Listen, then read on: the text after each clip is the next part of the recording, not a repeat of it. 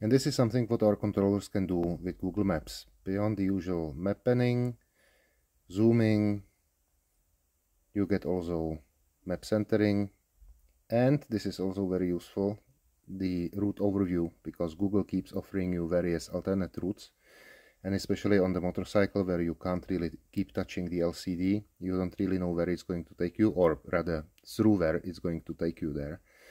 Uh, so this makes it really easy to get an overview and uh, maybe even though the route might be faster usually you're not riding to get somewhere fast. You want to have fun so you might want to check where the route is taking you and um, decide you might either stay on the current route that might be a bit longer but more interesting or you really might want to switch to the uh, alternate alternate route offered by by Google